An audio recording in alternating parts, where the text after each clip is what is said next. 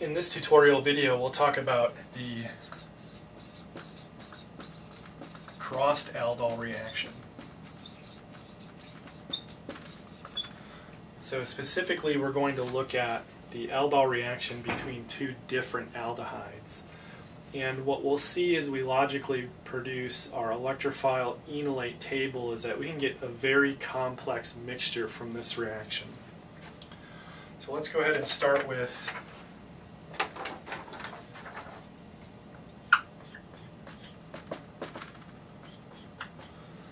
so ethanal and we're going to react that with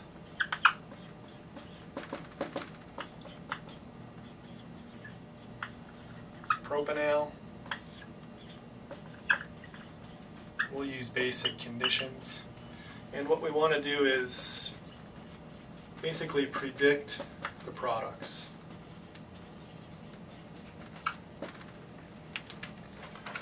So to do that, let's let's take a logical approach. We'll identify electrophile in column 1, enolate column 2, and then we'll draw the products to the right.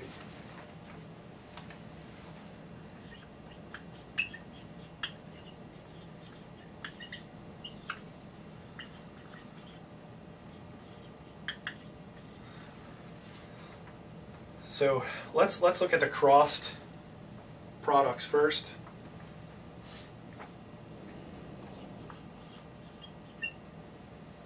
Let's start with ethanal as the electrophile. And then we'll generate the enolate from propanal.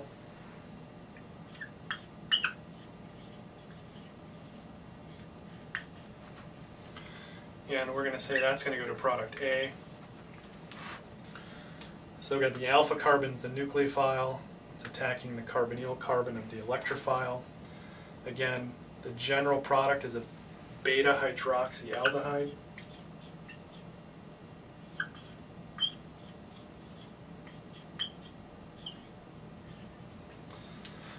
So there's there's the cross product number one.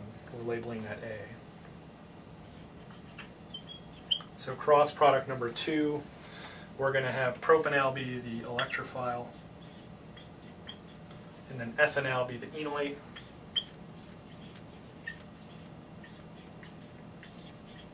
We'll call this product B.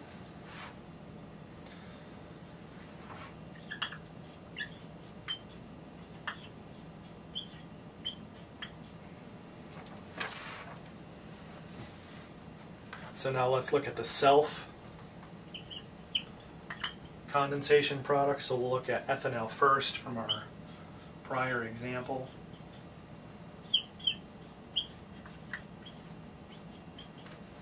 That's going to go to C.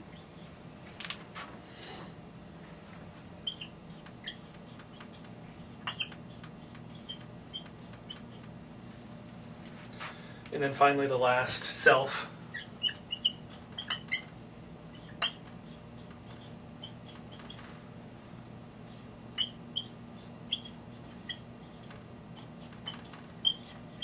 That's going to go to product D.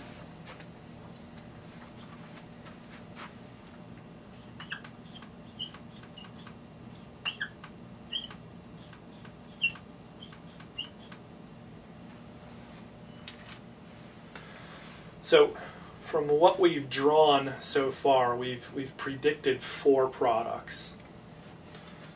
So let's let's keep track of this. First,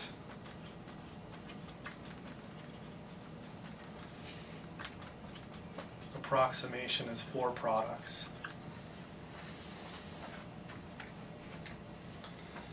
However, when we examine these a little bit closer, we're going to see that um, some of these products have stereogenic carbons. So what I want to do is put an asterisk by them in, in, in red here. So the red asterisk is going to be a stereogenic carbon.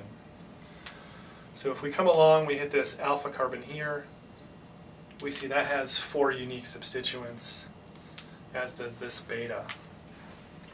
So the cross condensation that we're labeling A is not just going to give one product, it's actually going to give 2 to the 2, so 4 possible stereoisomers.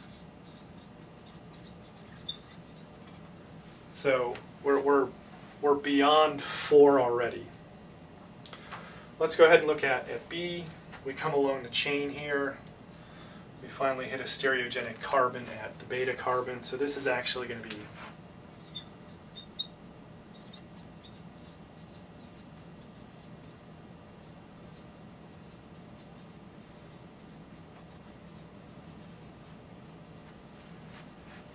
two possible stereoisomers. So we're at six so far. So our second approximation, we're, we're, we're beyond four. Again, uh, for our first uh, self-condensation, we have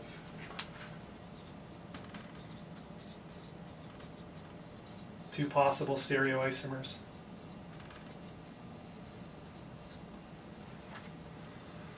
So we're up to eight. And then our final self, we have a stereogenic carbon there and there. So that's two to the two.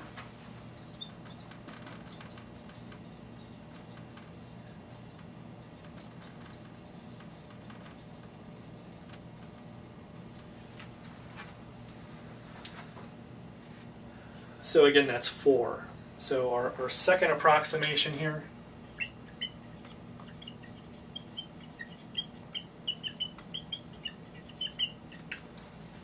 that we're actually going to produce 12 products.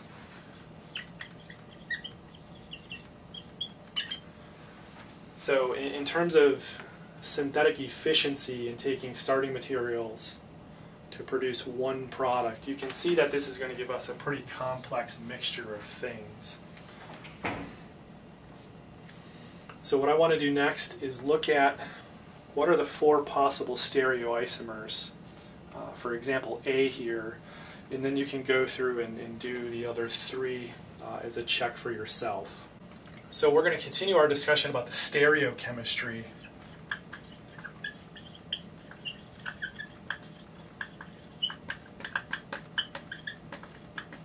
of this crossed aldol reaction and why product A is actually four different stereoisomers. So if we consider what reaction A was, we were taking ethanal as our electrophile, and then we were using this enolate from propanal. So that was giving us product A. So the reason that we end up with four possible stereoisomers, if you consider that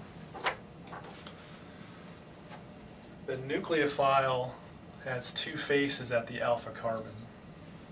So it has the face, the front of the whiteboard, and then the reverse of the whiteboard. So either face can attack. So we'll say two alpha faces of nucleophile. And then the carbonyl carbon, which is acting as the electrophile, that can be attacked from the front face or the rear face. So two faces of electrophile. So the combination of those is uh, an explanation of why we get four possible stereoisomers. So what I want to do is draw those out and show the relationships between them.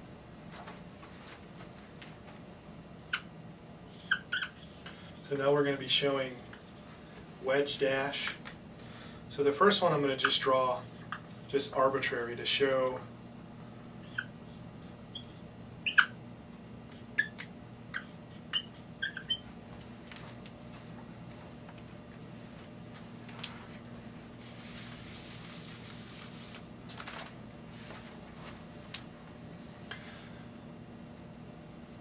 So this first one I'm going to draw arbitrary with both um, substituents coming out of the board.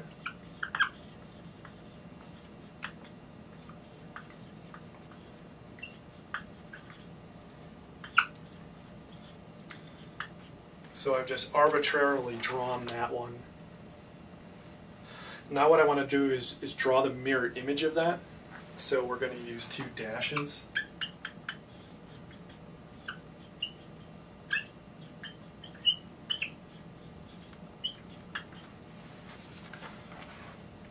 So the relationship between these two, which I'll show with this arrow in red. So red is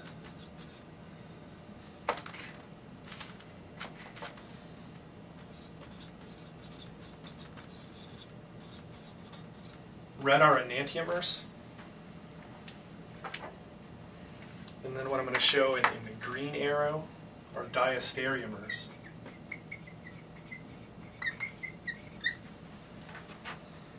So if we look at our original structure that we've drawn, if we want to draw a diastereomer, that means we're going to flip one of these stereogenic carbons. Let's go ahead and flip that one to the wedge, or the dash, excuse me.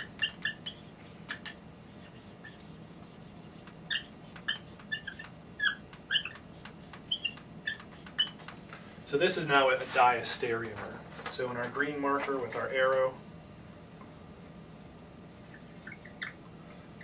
the relationship between those is diastereomeric.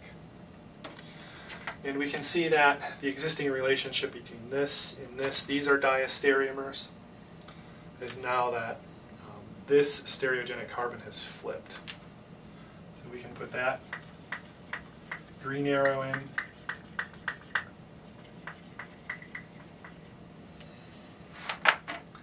And then finally, if we draw the enantiomer of this, both of those stereogenic carbons will flip.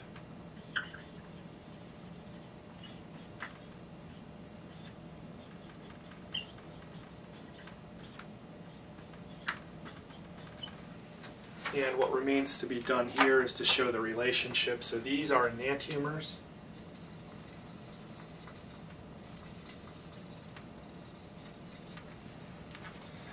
And then we have two more relationships to talk about. So these two are going to be diastereomers. And then finally, these two will be diastereomers as well.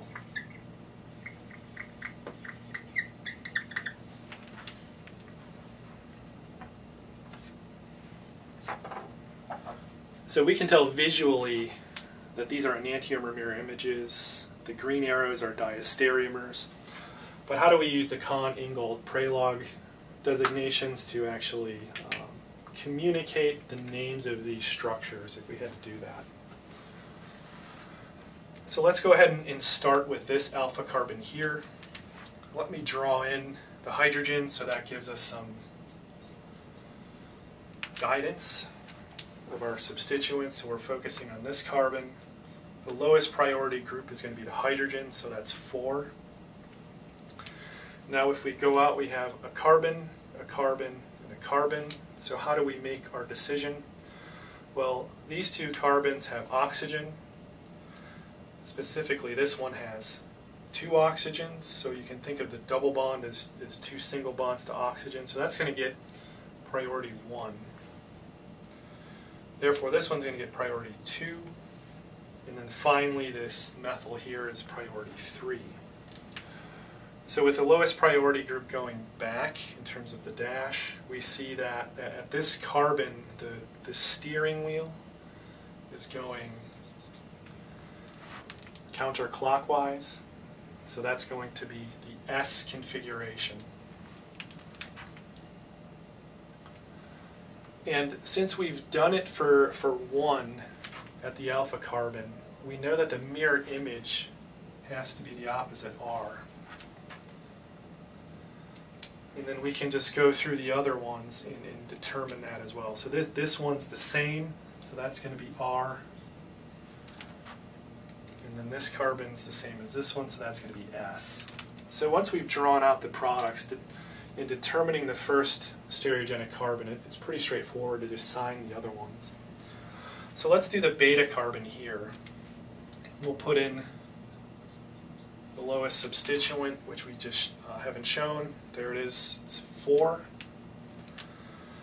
So now we have oxygen, carbon, carbon. So oxygen is going to be our, our top priority is 1. We have carbon and carbon. This has three hydrogens. This has a carbon and extra carbon, so that's going to get priority 2. This will be priority 3. So we can see in this case that we're going clockwise now. So that's going to get the R designation. So we see that this flips. These two are not the same, so that's R. This flips, so that's S. So since the aldehyde is the, the parent, that's going to be carbon 1, this is carbon 2, so we would call this the 2S 3R. Its enantiomer is 2R 3S. 2S 3S. And then finally 2R 3R.